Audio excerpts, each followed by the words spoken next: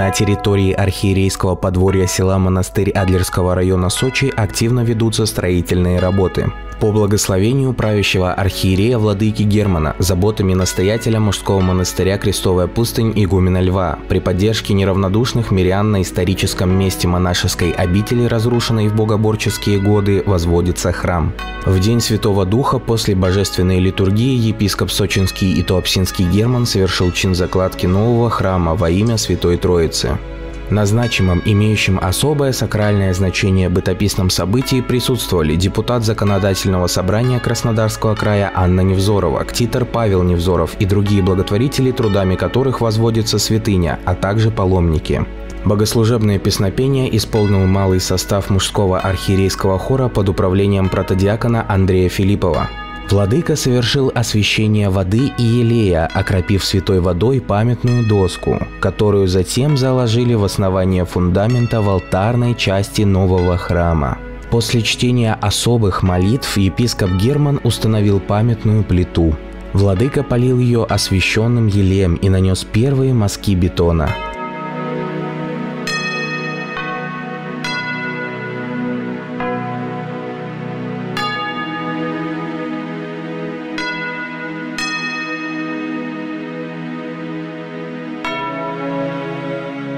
Затем взять мастерки и положить бетон на плиту смогли духовенство, ктиторы и паломники. У каждого участника богослужения останется добрая память о закладке храма.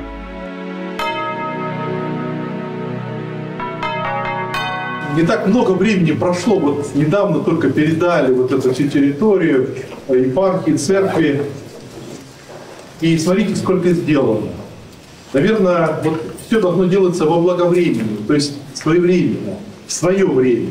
Происходят такие вещи совершенно чудесные, какие-то прям, ну кто-то, миллионер сказал, волшебные какие-то вещи происходят. На самом деле чудесные, необычные вещи происходят. Так вот и с этим нашим святым местом. Вначале обрели икону, она вернулась в монастырь Покрова. Мы храм соорудили домовый. Потом появился крест. Ну, не знаю, может, он на храме стоял, но вот уже храм строится. И мы этот крест, конечно же, оставим, чтобы это как, знаете, такая реликвия э, того первого монастыря. Э, и помните нашу первую литургию, мы здесь молились на фундаменте, на остатках фундамента. Эти камни тоже здесь лягут, потом под стеклом будут находиться. Вот то место. И здесь стоял храм. Поэтому мы его воссоздаем. Конечно, он другой, из другого материала делается.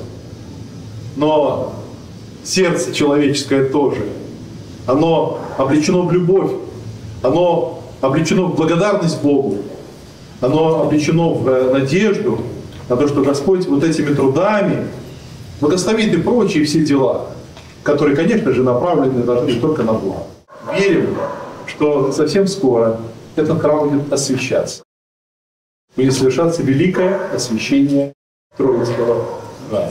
Дай Господь, чтобы вот это святое место сюда собирало людей разных, с разными вопросами, с разными проблемами, чтобы они отсюда уходили окрыленными, радостными и без проблем. Пусть Господь благословляет всех, кто трудится над воссозданием этого прекрасного монастыря, это прекрасном, красивом Богом сданном месте, и пусть это будет украшением не только нашей сочинской земли, но и всего юга России. Пусть это будет духовным оплотом, опостом э, южных рубежей российского нашего государства. Пусть и основатель этого монастыря, отец Маркиан, и братья, почившие, конечно, уже давно, Пусть они тоже молятся, чтобы наши благие планы и желания, чтобы они исполнились. С праздником!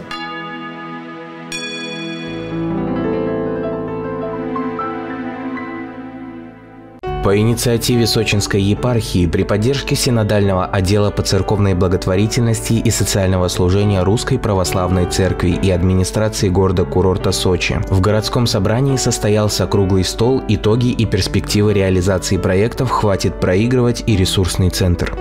Круглый стол объединил духовенство, представителей депутатского корпуса Законодательного собрания Краснодарского края и городского собрания Сочи, администрации и специалистов города-курорта, лидеров общественных организаций, преподавателей вузов, школьных педагогов, лекторов и казачества. Сегодня здесь собрались представители, по сути, всех этапов жизненного цикла создания инновационных проектов. Название перед нами хватит проигрывать и ресурсный центр мы считаем такой диалог очень важным для объединения усилий, чтобы в итоге добиваться нужного для нашей страны результата. Мы видим, как это, к сожалению, коррупция, безответственность, гражданская апатия, потребительский образ жизни, эгоизм, аморальность, внутренняя раздора сеет сомнения в торжестве справедливости, твердой убежденности современников победы света над тьмой. Наша с вами цель хотя бы на небольшом таком пространстве нашей малой родине сочинцев преодолеть греховность, духовно калечащую и разделяющую людей ради создания истинно свободного, нравственного, духовно консолидированного общества. Работа это тяжелая. Где же набраться сил для нее? А силу следует черпать вере православной. По благословению патриарха Московского и всея Руси Кирилла для участия в мероприятии прибыл исполняющий обязанности председателя Синодального отдела по церковной благотворительности и социального служения Русской Православной Церкви протеерей Михаил Потокин. Братья и сестры, друзья, вот нам кажется иногда, что мы решаем какие-то отдельные проблемы. Демографию, нравственности, там, воспитание и так далее. Но когда мы говорим о молодежи, о семье, о политике, связанной с воспитанием детей, это не просто какие-то отдельные задачи. Это задача действительно наполнить жизнь человека смыслом подлинным. Церковь имеет опыт двухтысячелетней истории в стране. И в истории святых, в истории, так сказать, той, которая связана с поиском этих ценностей и нахождением их в жизни человека. Поэтому здесь вот я очень рад, что такой совместный, э, совместный такой диалог да, между э, властью, между депутатами собрания вот, и присутствующими здесь, что он состоялся. Поэтому давайте вместе трудиться. Координатор проектного направления протеерей Александр Копырин подвел итоги инициатив «Хватит проигрывать» и «Ресурсный центр», представив участникам круглого стола результаты. Проект «Ресурсный центр по укреплению традиционных российских духовно-нравственных ценностей» создан для поддержки педагогов, аккумулирования ресурсов, повышения компетенций учителей и добровольцев. За время реализации проекта провели лекцию «Традиционная культура в воспитании детей». Организовали мотивационную встречу для заинтересованных в сотрудничестве педагогов и добровольцев – провели масштабный семинар с семейным психологом, членом Союза писателей России Ириной Медведевой, в котором поучаствовало более 500 человек. Организовали методический семинар формирования традиционных российских духовно-нравственных ценностей в области семьи, брака и культуры взаимоотношений полов. В нем поучаствовало более 50 педагогов, психологов и добровольцев. Ведущим стал Константин Шестаков – кандидат социологических наук. На базе Сочинского государственного университета провели семинар, на котором методическими основами формирования традиционных ценностей у молодежи поделились преподаватели университета.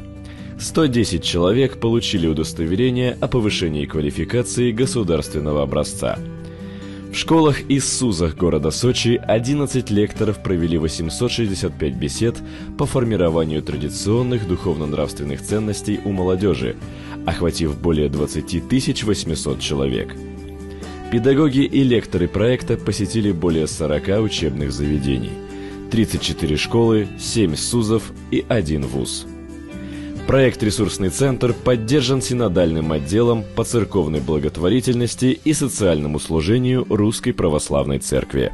Владыка Герман вручил педагогам-участникам конкурса практических материалов для проведения занятий с подростками сертификаты, а лекторам – благодарственные письма за большой вклад в реализацию проектов по формированию традиционных российских духовно-нравственных ценностей в рамках проекта «Хватит проигрывать».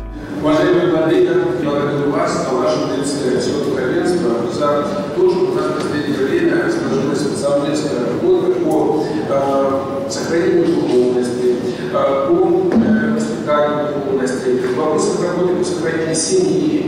потому что на сегодняшний день, к сожалению, в западных странах, в западных странах такие э, традиционные ценности уходят э, на второй план. И поэтому не зря наш президент произнес слова, что мы не будем на них ориентироваться, мы будем ориентироваться, ориентироваться на традиционные ценности. И поэтому он и объявил этот год годом семьи, для того, чтобы мы уделили внимание именно этому направлению.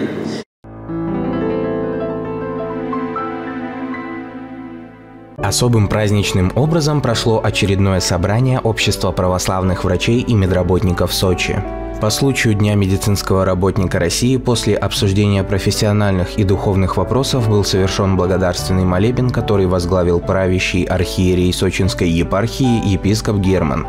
В этот день члены общества приняли присягу православного медицинского работника. В честь праздника Преосвященнейший Владыка наградил членов и помощников общества за усердную работу архиерейскими грамотами. Преосвященство, дорогой Владыка, вы сделали такой праздник для медицинских работников, а особенно для православных медицинских работников и врачей нашего города, нашей епархии. Вы с особым чувством, Владыка, наверняка молились за этим молебным пением, с особым чувством слышали слова клятвы, присяги, которые приносили наши доктора и врачи и медицинские работники, поскольку для вашей семьи, для вас тоже сегодня праздник. Вы родились в семье врача. Всех, всех благодарю. Конечно, духовник отец Андрей, вот, э, священник, который тоже имеет медицинское образование, высшее медицинское образование, доктор. Заботитесь о том, чтобы э, у нас работа продолжалась э, необходимая и, и возможная, и чтобы мы действительно могли что-то сделать. В вашей молитве, в вашем благословении мы глубоко благодарим вас за это внимание. На память о совместной молитве, чуткое внимание и поддержку усилий православных медиков духовник общества протеерей Андрей Лейко преподнес в дар владыки редкое издание проповедей и трудов святителя Луки, архиепископа Крымского.